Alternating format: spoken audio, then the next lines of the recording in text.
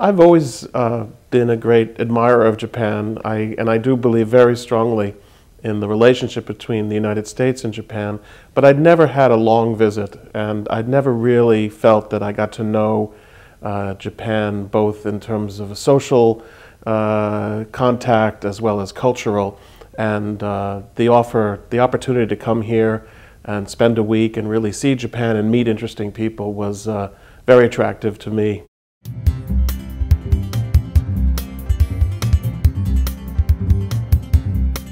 My view of the current world situation is that uh, the democracies are under challenge in a way that we didn't expect them to be. Uh, we have two very large, great power autocracies, one of them very close to Japan and China, and also in Russia, where uh, next to Europe, uh, where I've spent a lot of my life. And I think that we need to understand that we can't take democracy for granted as we once did, and that the democracies of the world, especially uh, the traditional allies uh, need to do more uh, to both to defend democracy and to promote democracy at a time when it's really being challenged. I'm optimistic that we can do that. I'm not as pessimistic as many people are about the decline of the democratic world, but I do think that uh, it's time for us to take the issue seriously again. Some of it is just international solidarity.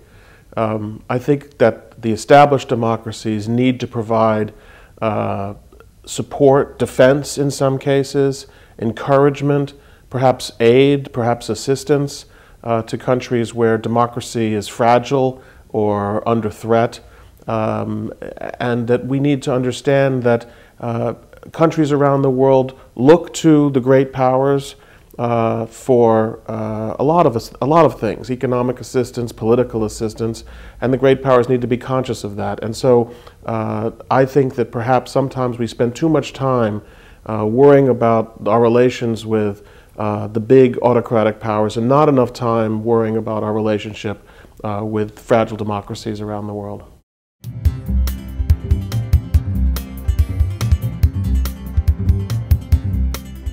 I think that for many years, um, on the one hand, people took the Jap Japanese alliance for granted.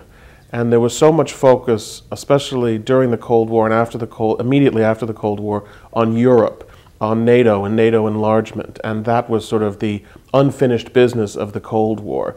Uh, and that was really where people were focusing most of their attention. But as when the Soviet Union collapsed uh, and Europe uh, became sort of stable and democratic uh, on the one hand, and on the other hand, as China has risen, I think people are now realizing again uh, how important the US Japan relationship is. Uh, and in a way, perhaps the difficulties that we're going through uh, with the new government in Japan and a new government in the United States, there may be a, a, a, good aspect to these problems, which is that people have been forced to focus again and, and think sort of from the bottom up, uh, why is this relationship important, rather than both of us taking it for granted. Relations among countries are similar to relations among people, and as you know, with any good friendship, it means understanding what matters to the other person. Um, a lot of times we approach alliances, and sometimes we approach people, all we want to know is what we need. Uh, this is what we need, and we want the person to give us what we need. But friendship and alliances are about understanding what the other partner needs as well. And I think this is a time, uh, really, when both Japan and the United States uh, should take a good understanding of what both are looking for, what both need. It's an equal relationship, um, it, and both come to it voluntarily. And so, in order for it to work, there has to be a lot of understanding. And I'm hopeful that in this period we'll, we'll be developing that understanding.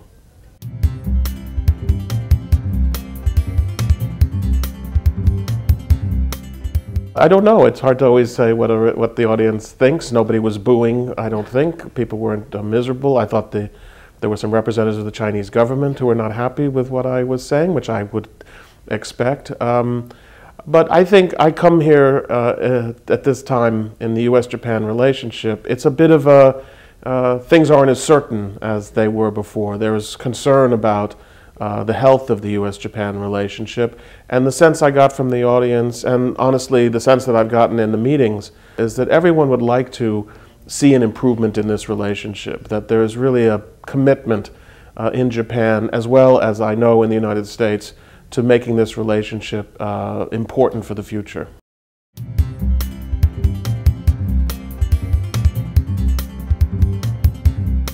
I don't know entirely what to expect. I know a little bit of Japanese history, but I know that I'm going to uh, the really historical Japan.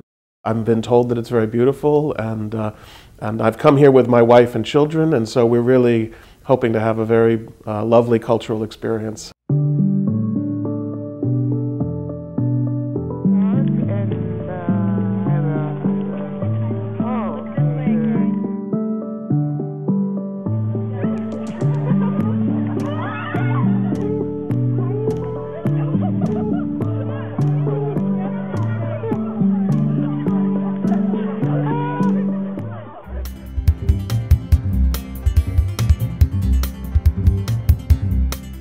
I already I write about Japan, but I'm certainly planning on writing about Japan more, and certainly from on the basis of this trip. I in fact was already thinking about uh, a future Washington Post column about the state of the U.S.-Japan relationship based on this trip.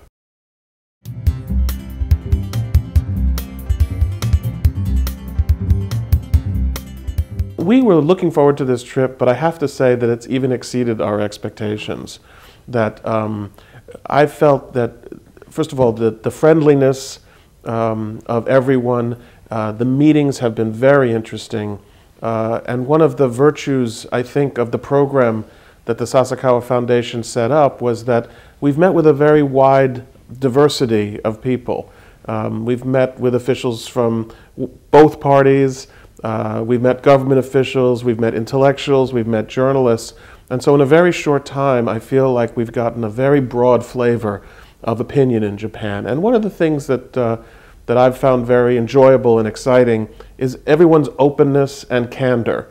Uh, I don't feel like we're getting, you know, just the official line on issues. I feel like there is a real desire for exchange, uh, and people are curious about our views, and we are obviously curious about their views. A lot of people who've been doing foreign policy, like myself, for 30 or 40 years, uh, you know, we think we know Japan, but maybe we don't really. And so there are a lot of people like myself uh, who benefit tremendously uh, from this kind of visit, um, laid out the way Sasakawa Foundation has done it. So I would strongly encourage you to continue uh, bringing people over. I think it's very helpful. But it's really been a wonderful program. It, much better, even better. We expected a great deal, but it's been even better than we expected.